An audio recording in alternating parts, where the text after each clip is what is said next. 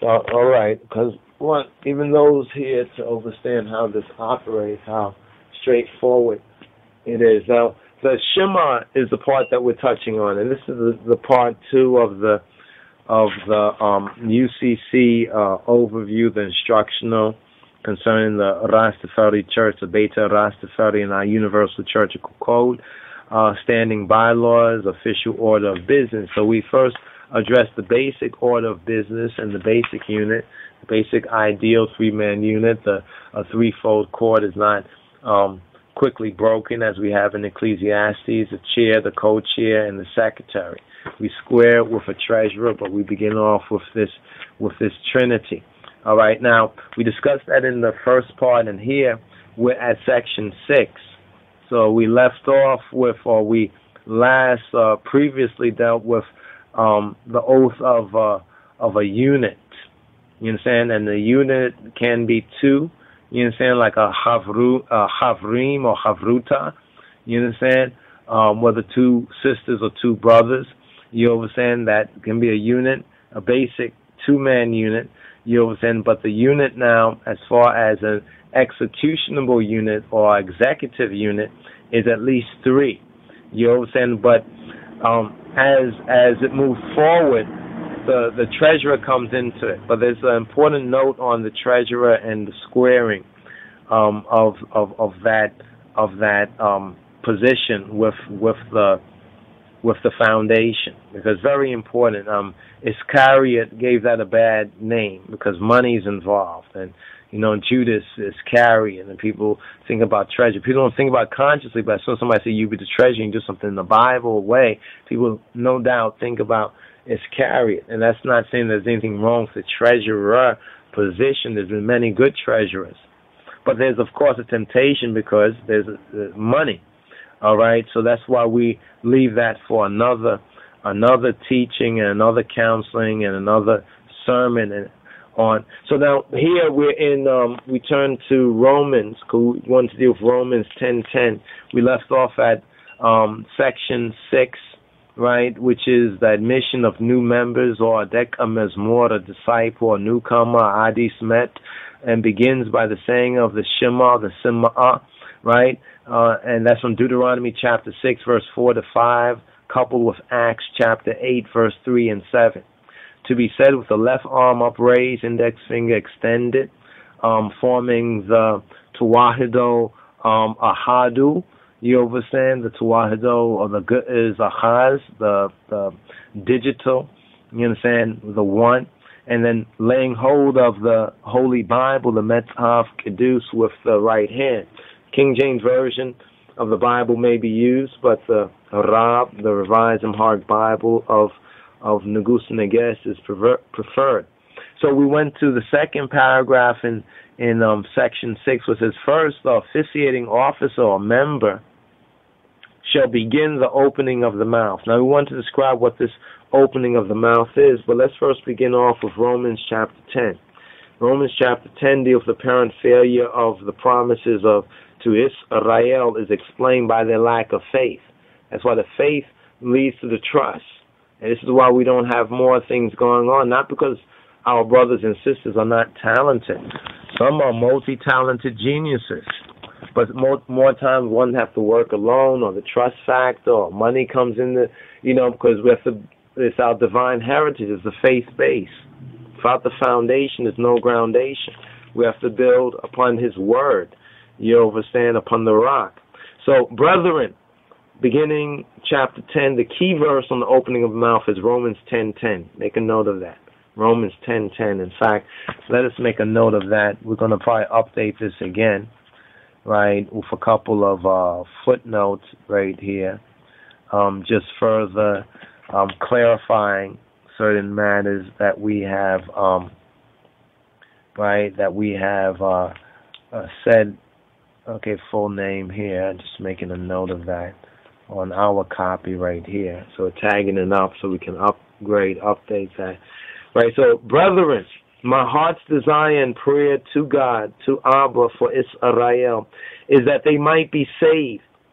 For I bear them record that they have a zeal of Abba, they have a zeal of God, of Jah, Rastafari, but not according to knowledge. For they being ignorant, that means not knowing of God's righteousness, of what the King of Kings' true righteousness is. It's not about how long your locks are, how much ital you eat, how much ice gold green you wear, Ethiopian clothing you wear. All these things are important. They have their role. But that has nothing to do with God's righteousness. His Majesty's righteousness, Abba's righteousness is our black Lord and Savior, Jesus Christos, Getachen. That's our righteousness. He is our righteousness. And going about to establish their own righteousness based upon Ital or, you know, based upon reggae music or roots or even bingi or, or chanting or any of these things. You understand? That's not our righteousness. Right? They have not submitted submitted themselves to the righteousness of Ha Elohim, Baruch Hu, blessed be He. They have not submitted to the righteousness of Kedamawi, Haile Selassie. All right? They have not submitted to that righteousness, His righteousness, the good news of Him. For Christos, for Christ, Moshiach, is the end of the law. Now, make a note on end of the law in your Bibles, Romans chapter 10, verse 4. If you look that up, that would actually be fitzame, the fulfillment not the end to say, well, the law is over. That's how a lot of ones who were ignorant read it and misunderstood it. It means the fulfillment. You understand? The, the fullness, the fulfillment. For Christos is the fulfillment of the law, Torah, for righteousness, for right standingness. You understand? For tziddik, tziddiknet, right?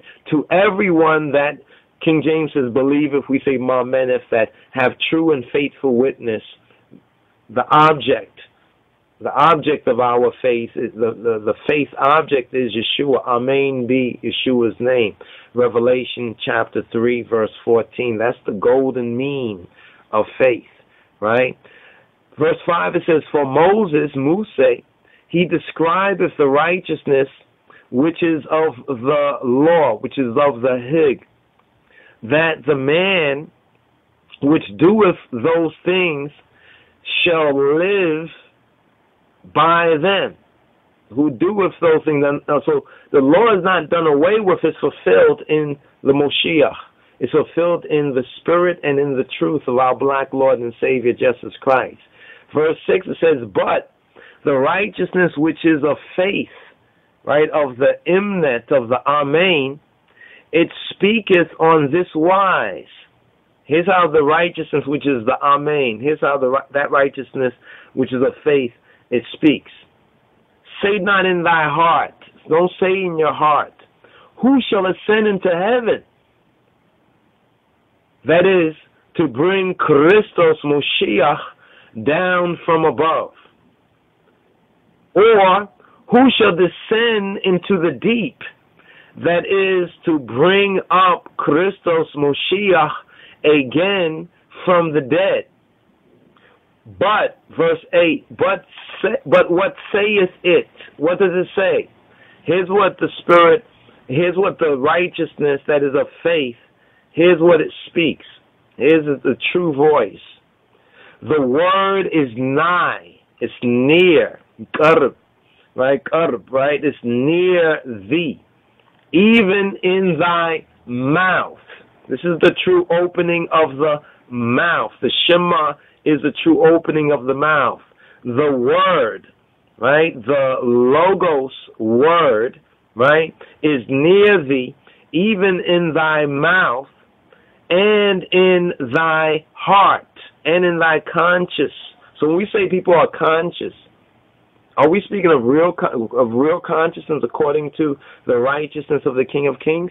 If so, this is the word. The word is nigh thee, even in thy mouth and in thy heart. That is the word of faith, the word of imnet, right? The word, the imnet subjectively, we have imnet on the amen. And when our our imnet, which is the bride of Christ, meets the Amen. You know what I'm saying? That's like the marriage of the Lamb. This is the word of faith which we preach, which we proclaim. Verse 9. That if thou, if you, right, if the I shall confess with thy mouth the Lord Jesus or Bamarinya Geta Jesus or the Hebraista Kwankwa in the Hebrew Adonai Yeshua Yehoshua and shall my men exercise true and faithful witness in thine heart, in your conscience, your consciousness, your in your consciousness that God, Ha Elohim, hath raised him up from the dead, thou shalt be saved. Then you can truly say Dechna. Ine Dechna Ne. You saying? Then you truly are Dechna, Denna. Right? Before, in, from the, the, the, the, the saving of Medane, Medhane Alem. Now here's 1010. Here's 1010 wins. For with the heart man believeth, marmeneth, right? Exercises true and faithful witness to righteousness with your conscience. You exercise true and faithful witness to righteousness, which is Christos. That's why the law is our schoolmaster, Torah. And with the mouth, right? With the mouth, confession is made to salvation.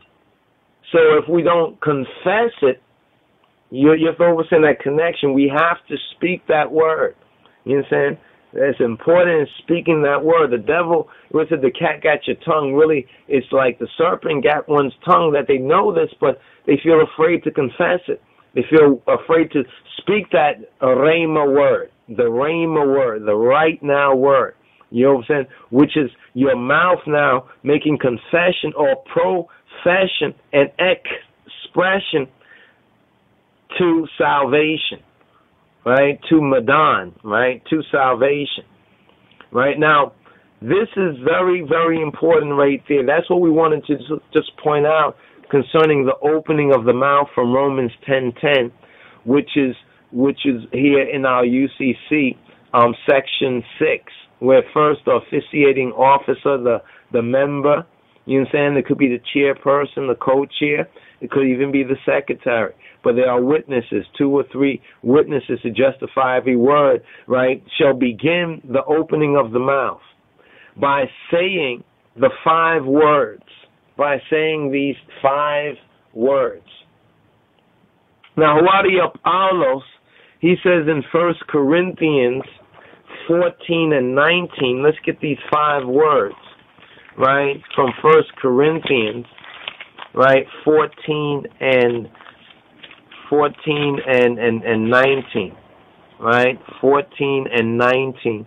And it says here, he says, uh, yet in the church, the machiber, uh, right, the society, the church, I think this is where it does say machiber, right, let's bring this up right here. Um, but in the yet in the church, I had rather speak five words with my overstanding. These are your first five um, Ethiopic words. That by my voice, right? You get that? My voice, word, sound, power. By my voice, I might teach others also. That I might teach others also. Right? There's a note, you know, sometimes the Holy Spirit is revealing something so so wonderful that even I have to say, you know, I say I remind y'all to take it down because I'm like I want to take it down, but I want to keep speaking it too. But sometimes I have to just say, all right, let me uh, take this, you know, take this down as well. You know what I'm saying? Let me make a note of this, a note to self right? Um, the five words, right? These five words. What are these five words? You know, for a while I remember reading this and, you know, was thinking that, well, maybe it was just, um, you know, maybe it was just like any five words. Uh, you know, these just saying five words. But then I said, wait, as I study Hawaii Apollos, I said these five words must really, and, and not, not just any five words. They can't be any five words. You understand? Because Hawaii Apollos, Paul, is a he's a Gnostic, a real Gnostic, not a pseudo, uh, not a gnosis, a pseudonymos.